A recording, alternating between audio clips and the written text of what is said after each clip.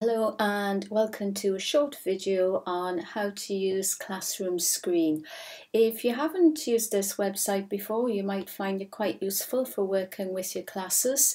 Uh, so to access it you just simply go to classroomscreen.com.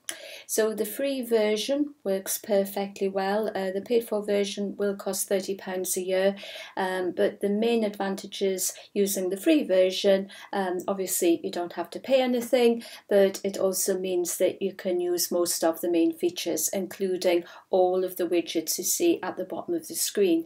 So how can you use it? Well, you can launch it when you're working online and uh, you have a Google Meet running.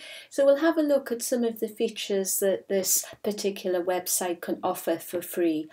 Um, so if we click on the home button, you can sign up for free. So I'm logged in, just use my Google account to sign up for free. Um, you're allowed to add three screens for free in the free version. Um, you have the facility to personalise and upgrade, etc., if you wish to go to the next level.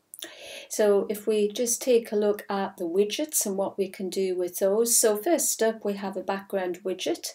Um, so lots of interesting images that we can choose from for the background. Um, random name generator, quite useful to use with your students. So um, if you just type in a series of names um, and you can save a class list um, within this application.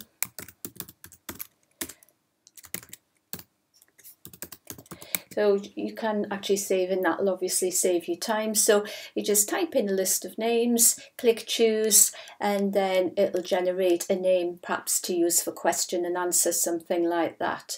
Um, so just close that down. Um, so the dice could be quite useful. So one, two or three dice and can use perhaps for a game or something similar. Um, sound level is just for you to check the basic sound as you're speaking. Media is quite useful, so uh, we can add an image, um, which again you could just use a local file for that from your computer.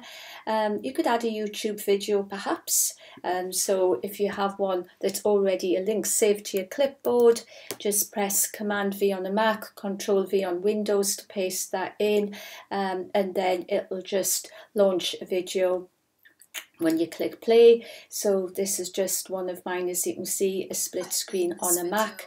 Um, and so the benefits of that are you could obviously just talk it through with the class and use it in your teaching.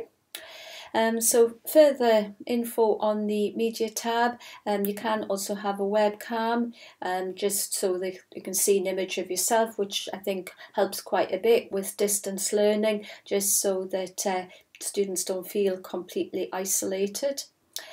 Um, we can use the QR code generator, which is particularly good. So again, just uh, paste in, just for demo purposes, I'll paste in um, the YouTube link that I mentioned before, um, press enter, and then the students can just use their phone, snap on that QR code, and then watch the video that you tell them to take a look at. Um, other features, obviously we have drawing, so various pens, different colours, um, so again that's quite useful if you want to model something or just write about something. Uh, text tool, again just click and you have editing tools as well. Um, so just type in something there and then we can select it and then just apply the usual edits that uh, you might need. And it is important, I think, not to get the screen too cluttered because with all these widgets, and there are 13 of them, um, it would be quite easy for the screen to become overwhelmed. Um, I quite like this feature so we can just place that within the screen so you could have quiet time, uh, go to settings and then you can say change the background just so it's not quite so invasive and then we have different things whisper, um, ask a neighbour and work together. So lots to choose from there and of course you can customize.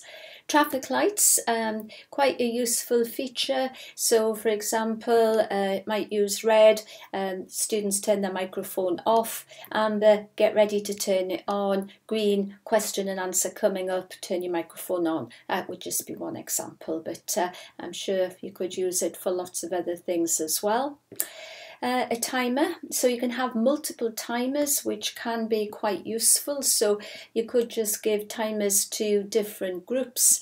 Um, so again you can just set the timer um, however uh, you want it set and then just click on play. And then again um, there's different settings that can be applied to the timer so you can customize the color etc um, you can go back to it and then just create another one. So it could be quite useful if you've got different groups and you want to have different timers running or you could be using breakout rooms and you want the students to just switch back or work with a split screen so they can see the timer that you've actually got running. Um, stopwatch, possibly could use that. The clock, nothing special about the clock.